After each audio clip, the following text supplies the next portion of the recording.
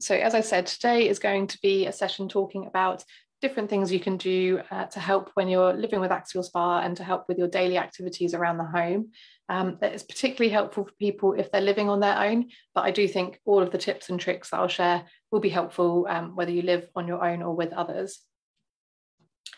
So firstly, just to understand kind of why we're doing this session, essentially we, we know that with axial SPA, uh, you're living with that daily pain and daily fatigue. Um, for different people, it will be to different extents, but often um, either daily or just during flare ups, you can find that that pain and fatigue really impacts your ability to do your usual day to day activities. So, all these tips and tricks are to help, whether it's in that flare stage or if you live with that pain daily and that fatigue daily. Hopefully, these simple changes can make a really big difference to your day to day life. So firstly, just thinking about whether you have a daily routine or whether your, your symptoms fluctuate through the day. If you're like me, you may well wake up like the Tin Man here and in the morning find that your symptoms are a lot worse. So your pain, your joint stiffness, and your fatigue are a lot worse until you've been able to get up and get moving for a period of time. If you find that you're in the same boat, then it could be really helpful just to spend 15 minutes the night before preparing things uh, ready for the next day so that in the morning you've got things all set up and ready to go for you. So, for example, you could put your clothes out for the next day. You could get everything that you need for breakfast out and leave it at an accessible level so you're not bending and reaching into low cupboards first thing in the morning. You can fill the kettle with the right amount of water again, so you're not having to lift first thing. And even putting your towel and any bath products out somewhere where it's easily easily accessible so that first thing in the morning you're not having to do those really big tasks. It just means that it gives you that that extra help when you are loosening up and waking up ready for the day. Now when we're looking at how you can do all of the the daily activities that you want to do while still looking after yourself the four p's that we use to describe pacing and managing fatigue in general can be really helpful so these four p's are pacing planning, prioritizing, and problem solving. I'll go through all of them uh, now. And when I go through all of them in one go, it does sound like quite a lot. So I do recommend if you're going to look at adding any of these into your day to day tasks or, or your daily habits, then just pick one thing to do at a time. So you pick one new habit and then you try and build that into your own routine. And then gradually, once that's part of your routine and you don't really think about it anymore, you can then bring something else in. So don't feel overwhelmed like you've got to make lots of big changes all at once. It's really about just finding those small changes you can make gradually and they can really help long term then. So first I'll be chatting about pacing. Uh, so the, the, the cake here is to represent kind of everything we want to do and then that slice is how we're going to pace it down and chunk it down. So rather than doing everything all in one go how can you slice up those activities? And i will admit personally with i have axial SPA too and i find that pacing is probably one of the most difficult and frustrating things to do but when you do have a focus on it and you do try to make those changes and really break things down, it can make a really big difference overall um, and long term, enabling you to do more, but with less um, kickback of the symptoms of the pain and fatigue you may experience. So, essentially, with pacing, we'd recommend looking at the tasks that you want to do either for that day or for that week and try to break those individual tasks down into even smaller steps. So that then those smaller steps you can spread out throughout the day or throughout the week. You can put in rest breaks and different activities in between. And it just means that you're still likely to get the same amount done, but you're not going to then do it all in one go and then find that you have to rest and recover for a long period afterwards. When I did a, a, Facebook Live about gardening, I shared a similar sort of tip on pacing and how you can break tasks down and, and look at tasks that affect your body in different ways. So, for example, I recommended that you wouldn't do all of your weeding in one go where you're kneeling and, and, stretching forward. You'd perhaps do a little bit of weeding. And then when you feel like that's straining your back a little bit, you can move on to something where it's standing height, like potting plants. And then again, you can move on to something where you're reaching higher up. So you're using your body in different ways. Or you can use this technique in lots of things, not just gardening. So when you think about your daily activities, if you've got some activities where you'll be sitting, some where you'll be standing, and some that are more energetic, look at the way you're structuring your day and see if you can break these tasks up so that you're using your body in different ways. So you may do the standing task first, and then when you feel like you need a break, you can then sit down and do those seated tasks. And it can just be helpful in reducing the fatigue and the pain you experience, but again, still allowing you to get the things that you want to, to get done. You can get through those. Now, the next P is planning. So this is something I, I, personally enjoy doing, but I know lots of people don't like having lists and plans and things like that. But it can be really helpful when you live with chronic fatigue, just thinking ahead and planning ahead um, to try and just manage your energy levels as best you can. So the idea is that when you look ahead and plan ahead, you try to spread your activities out evenly over a number of days rather than having everything falling on one day. For example, if you look ahead and, and realize that you've got a few activities each day, you can perhaps schedule in your, your uh, general chores and tasks like cleaning and things like that around your other activities. So on those quieter days, you could maybe clean one room, and then on the busier days, you would you would avoid that. So it's just looking at making sure that you're balancing things out. Um, you're still getting things done, but without that kickback kickback of symptoms. And similarly, if you notice that you know sometimes we do have days where lots of things fall on one day and it just happens like that. You can look at the days before and see how you can help set yourself up for those. So for example if you've got a few days where you're going to be working fairly late um, can you spend the, the few days before doing some batch cooking and freezing some portions so that then on those busy days you've got those meals ready to go? It's one thing less to do on those busy days but obviously eating well is really important at keeping our energy level up as well. So just thinking about in the run up to the busier days, what can you do to help make those days easier can be really helpful. Now, prioritizing, so this really ties into the planning as well. Um, if you find that you like to have to do lists, sometimes it can feel quite overwhelming when you have a huge to do list and you're really struggling with your pain and fatigue. So, a really good technique is to actually create a grid where you break down your different tasks into their urgency and how important they are. And this is really helpful in helping you prioritize those tasks. So on the right side of the, the screen here, I've broken them down into tasks that are urgent or non-urgent, and then important and not important. And the idea is that the task you would do first are those that are urgent and important. So you put those at the top of your list, highlight them, that they're the ones to get done first when you do have that time and energy. The next tasks you then look at are the tasks which are important, but they're not urgent. So with these, you'd look and you decide when are you going to schedule these in. So they may not need doing immediately, but can you look ahead at your weekly plan and schedule those in? Then the next tasks you take a look at are those that are urgent but not important. So these may be tasks that you can ask friends or family for help with, you can delegate or you can get someone in to help you with those. And then the final group, the tasks which once you actually break things down and look at them, you realize they're not urgent and they're not important. So with those, you'd be looking at, you know, whether you want to be doing them at all. Are they things that you can get rid of, take them off the to-do list? Because if they're not urgent and not important, do they need to get done? So this way of looking at your tasks can be a great thing to do either at the beginning of the week or at the beginning of a month, even at the beginning of a work day when you've got lots on, just helping you to prioritize that list. Meaning if you're starting with those tasks that are urgent and important, you can then find that if if later in the day you've got less energy than you felt you did have and you need to take a break, I think mentally it can be a lot easier because you know you've got those most urgent and important tasks done. It just takes the pressure off a little bit. And I think also reassessing your to do list every now and then is really good because you may well find that some of those tasks do fall into that last group and you realize that although they're on your list and can feel quite overwhelming, they may not need to get done at all. Now, the final P is problem solving. So got a couple of cryptic images here.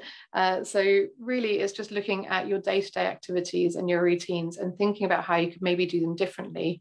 So for example, the stairs on the left here, that's to represent uh, a simple idea to have something like a box or a basket at the bottom of the stairs so that if you find that stairs are tiring and difficult, as you go through your day, if there's things that you need to take upstairs, just pop them into that box or basket. And then at the end of the day, take them up all in one go rather than having lots of trips up and down the stairs through the day.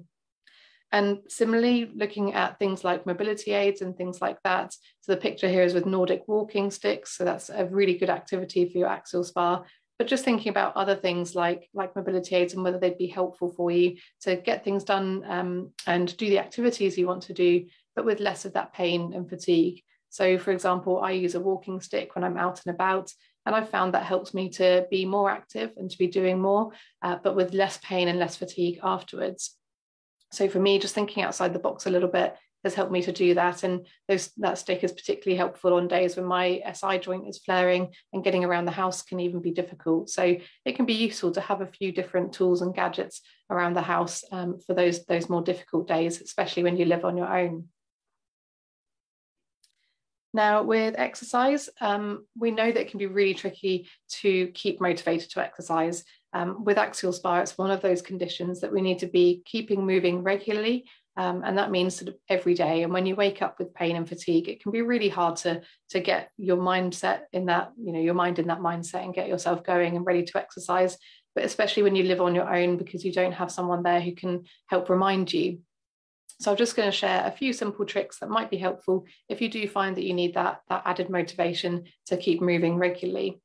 So firstly, having someone who um, would go with you to help motivate you um, can be really good. And also it can mean that the exercise isn't necessarily just exercise, it's also socializing. You know, you could be walking to a local coffee shop with a friend rather than just going out for a walk on your own. And obviously that's much more motivation to do that then.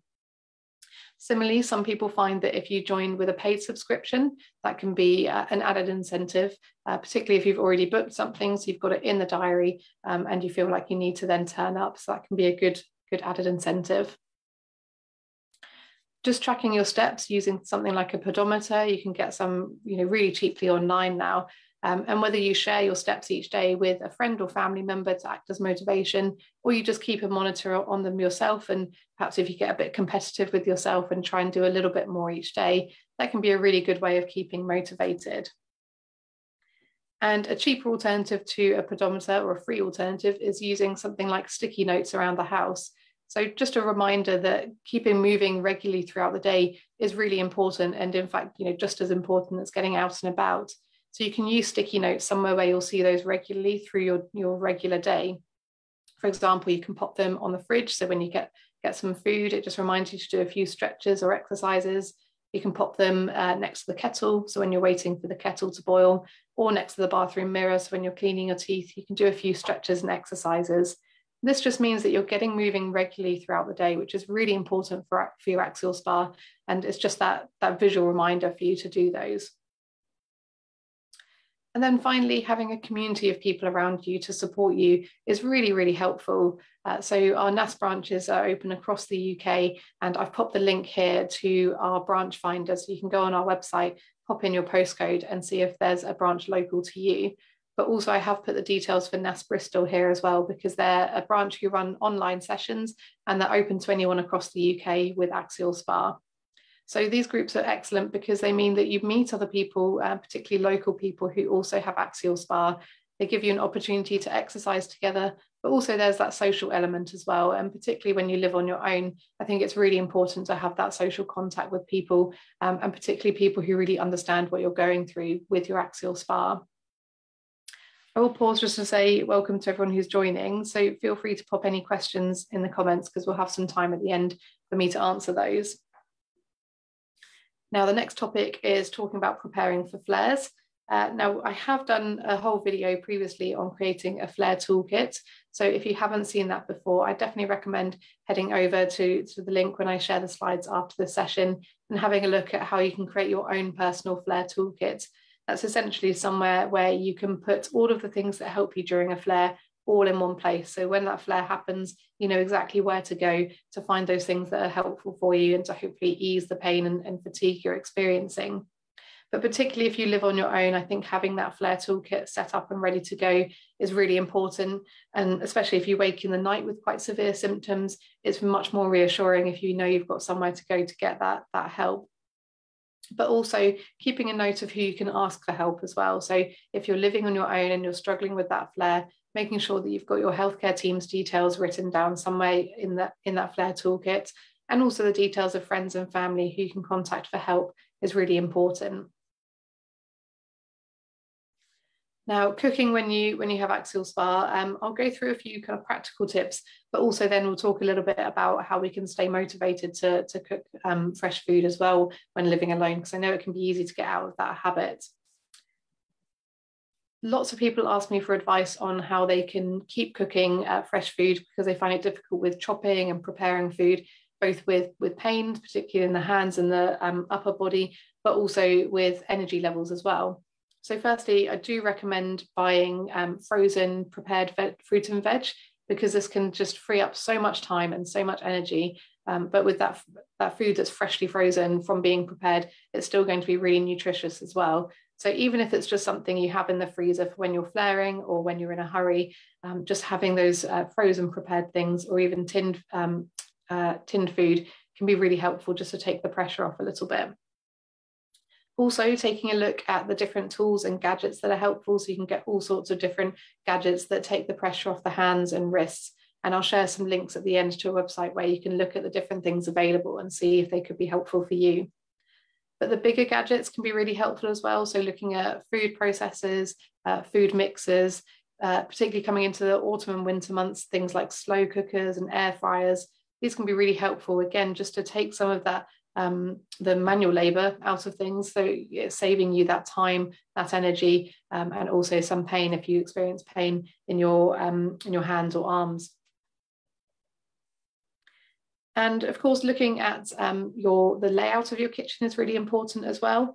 So looking at things like um, if you have things in easy reach that you use quite frequently, particularly if you use some of those heavier gadgets like food mixers regularly, having them out on the kitchen counter can be really helpful because then you're not having to bend and, and lift and get those regularly.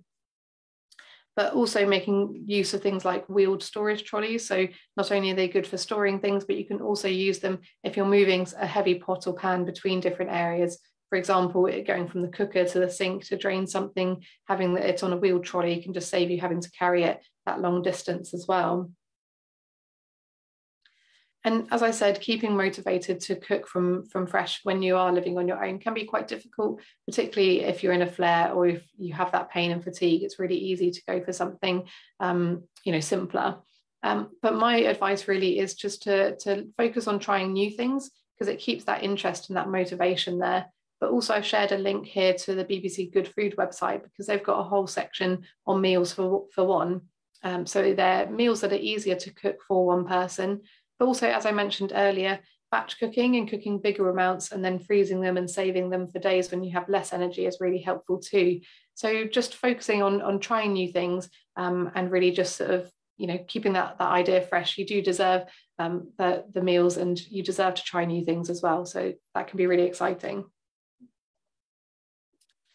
Now, cleaning, I will admit that for me, when when I'm in pain and when I'm flaring, cleaning is probably one of the first things to go lower on my to-do list, um, and one of the things I avoid. Um, and I'd, you know, I'd rather keep on top of things. So I know it is really difficult when it is hard to keep on top of cleaning.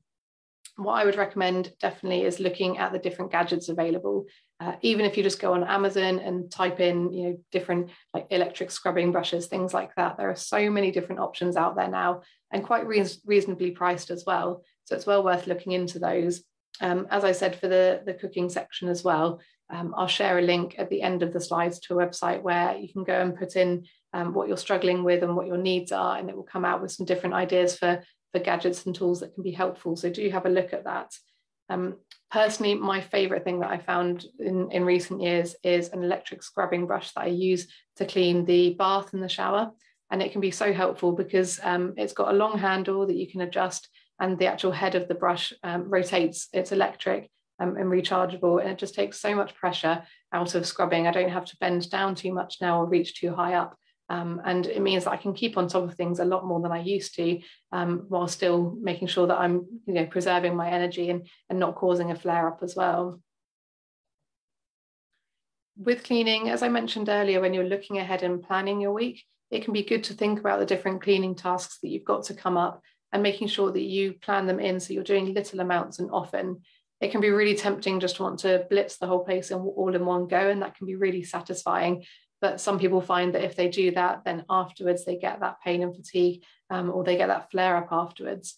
So just looking at how you can schedule things in and do it little and often can be really helpful.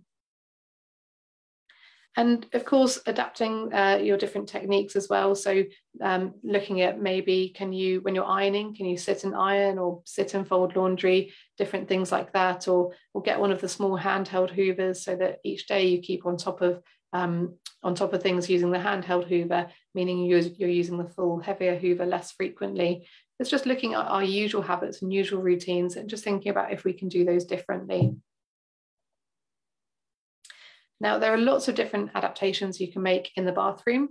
Um, for example, a shower stool can mean that you're, you're able to sit and rest when you're showering, which can preserve a lot of energy. Um, if you find that getting in and out of the bath is difficult, there are some bath seats that are available that sit across the bath um, that are electric, that then they can lower and raise you in and out of the bath. And that can be great, particularly if you find that you don't have the strength to push up with your arms um, or you have problems with your knees. It can be a good way that then means you're still able to have a bath, but you're able to get in and out much more comfortably. Um, your local council may be able to install grab rails as well if you find that that would be helpful um, for getting in and out of things or you know just for the safety element as well.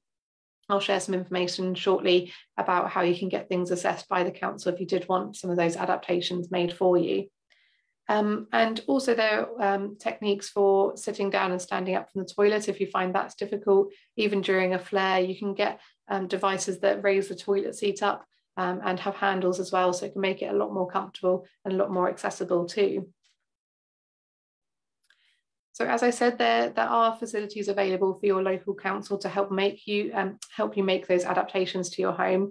So if you are thinking that perhaps some adaptations would be helpful, um, I've popped the link here where you can find your local council's webpage about the support and advice they can provide and the equipment they can provide as well. So it's worth checking out what your local council provides, but most of them will be able to make adaptations to your home up to the value of a thousand pounds per adaptation. So it can be things like um, like installing ramps, uh, in you know adding those grab rails and things like that.